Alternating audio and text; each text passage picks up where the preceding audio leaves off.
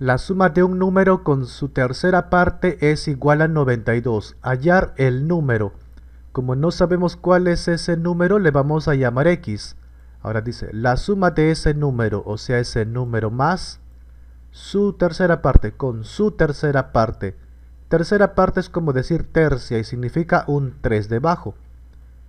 Y como dice, su tercera parte se refiere al mismo número, por eso va ahí y dice que esto es igual a 92.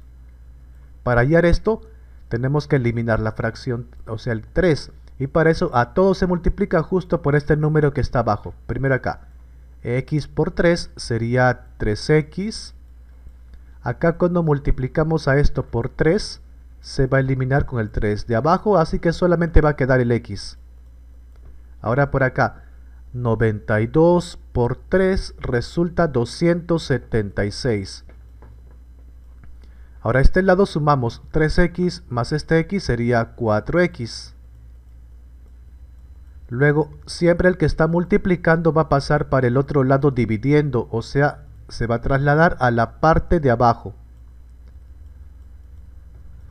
276 entre 4 resulta 69 y este sería el número buscado.